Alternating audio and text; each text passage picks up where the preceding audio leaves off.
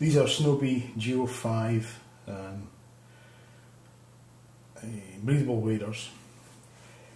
When I first saw the name, I thought Geo 5 meant fifth generation, but it's it's actually to do with layers of uh, fabric in the lower half of the the waders, as far as I can tell. A couple of obvious things. These continue the trend towards um, waterproof zips down the front of the, the body. I think the notice is um, the zip ends well before the crutch, so you can't. Um, what what that does is it makes it easier to get these on and off. Um, it's not long enough for you to um, use as a fly, uh, gentleman's fly, um, but it is easier to get these waders off when you need to go to the loo, um, or just put them on when it's cold and sit in the back of a car. Nice features, features that I appreciate on waders. Attached uh, belt. This is it's actually a detachable belt. It's but the belt loops are, are fitted, welded to the, the, the body of the um, the waders. Two large pockets. The the downside of um, two large pockets. The downside of having a, a zip down the middle is you don't have a big central pocket. So manufacturers have put in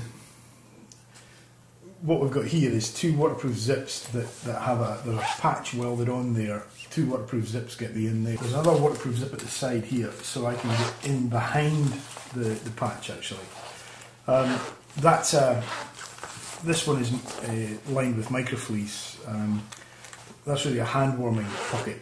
This is um, obviously where I'm going to keep things like tippet and snips and what have you. I miss not not having a pocket that's big enough for um, uh, a fly box. I tend to have a fly box stuffed down the front of my waders these days.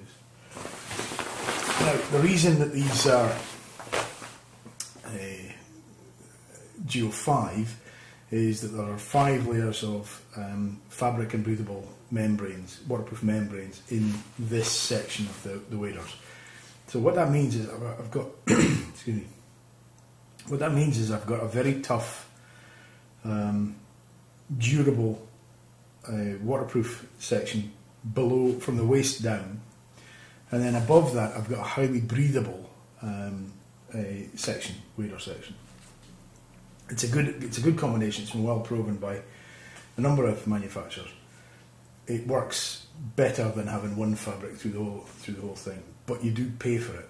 The other thing to notice is the seams on these legs come down the, the front of the leg.